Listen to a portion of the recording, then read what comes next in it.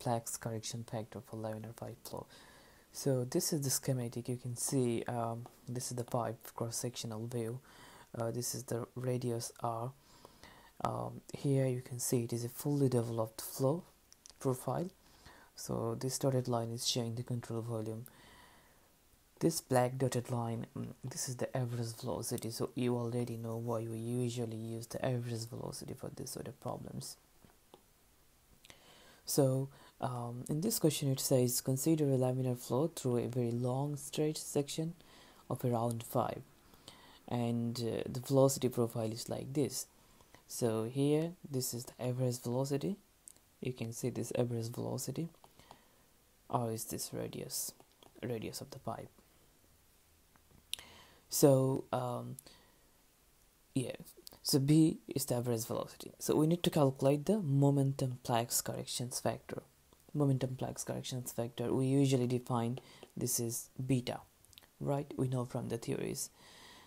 And it also says uh, you can see here calculate the momentum flux corrections factor through a cross section of the pipe for the case in which pipe flow represents an outlet of the control volume as is case in this figure. So that's the outlet so now um, we can write down just a couple of assumptions like what we did every time. So we can say this is a steady flow this is steady and incompressible flow. Okay? So that's the flow type. And the control volume slice we have um, this is actually through the pipe normal to the uh, pipe axis so I'm not just going to write that on. But as it is a circular pipe we already know the area for a circular pipe it is pi r square.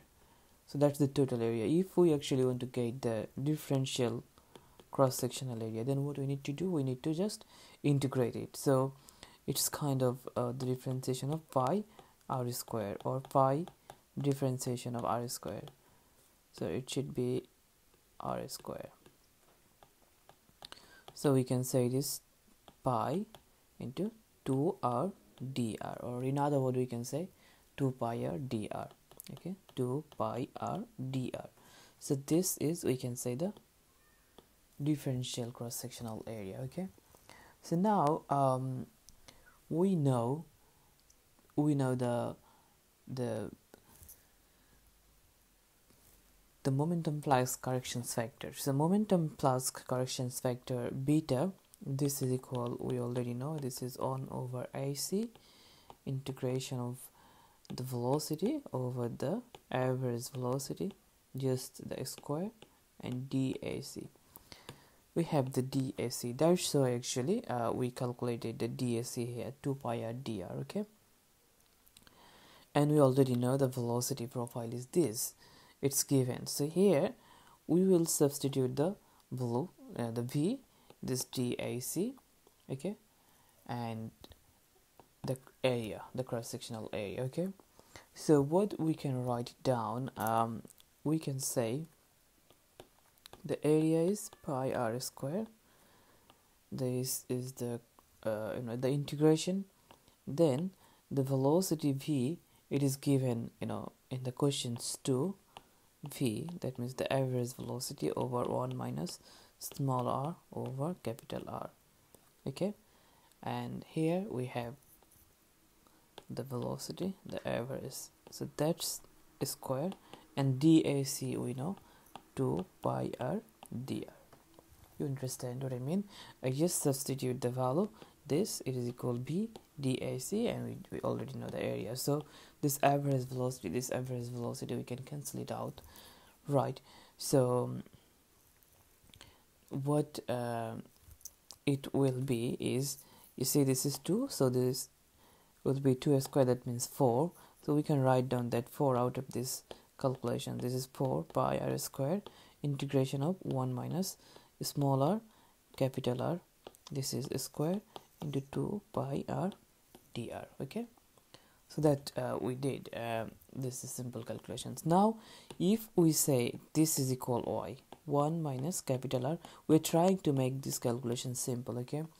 Because otherwise we can't do this integration. So we said this is actually y. We introduce a new variable.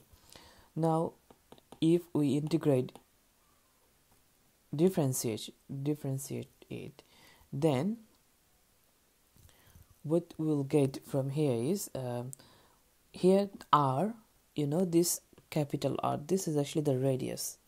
This is the constant but this small r it is changing for this depending on this flow uh, profile. Where y is the variable? So if we integrate it so it will be dy d, if we differentiate it dy into differentiation of 1 minus small r over capital R square so dy it will be 1 is constant. So differentiation is 0 minus r square it will be 2r dr over it is r square. So this is the dy value okay? 2r dr into r square. Now when we're talking about the integration we have a control volume so we need the limits uh, because this section it is a uh, long straight section so we'll you know make some limits and try to make the problem simple. So what we'll do here is uh, let's say now we have a new variable that is y. So if y equals 0 okay? If y equals 0 then what will be the um, value of the r so if y equals 0 so then then you see this expressions 1 minus small r over capital R it is equal y. In other words uh, we can say this is 0 y equals 0 so here we can say this capital R minus small r over capital R square equal 0 or we can say capital R square minus small r square equal 0 or we can say capital R equal small r. So what we said if y equal 0 then small r it is equal capital R. That's a new um, variable we are getting. That's the limit actually. And if um, you know the the value r equal 0 okay so you know we can write it here. If y equal 1 then again we have y equal 1 minus small r over capital R right? So if y equal um, 1 alright so now what we can say is um, when y equal 0 we got r equal small r small r equal capital R. And now if y equal 1 so from these calculations we'll get I'm not showing you here because it's uh, the length of the video is increasing. So then it will be just 1 the r it, it will be equal 1 y equal 1 then r equal 1 you can do the calculations later on. We need to do some more calculations here. So now if we substitute all these values from previous um, calculations we know beta equal 4 pi r square 0 if we take this is the center this is 0 and this side it is r. So we can say this is 0 to r okay? 1 minus small r square over capital R square square into 2 pi r dr okay? So uh, here what we'll do is um, we will write down this is equal y. So let's say um, if I write it down like this 4 over pi r square here when the r equal 0 then we got y equal 1 so it was r equal 0 and r equal r. So when r equal 0 y equal 1 we'll say it is 1 when uh, you see r equal capital R then we have y equal 0 so when r equal capital R y equal 0 so now the new upper and the lower limit it will be just lower limit 1 upper limit 0 1 minus small r into capital R um, we said here oops we said here this is equal y.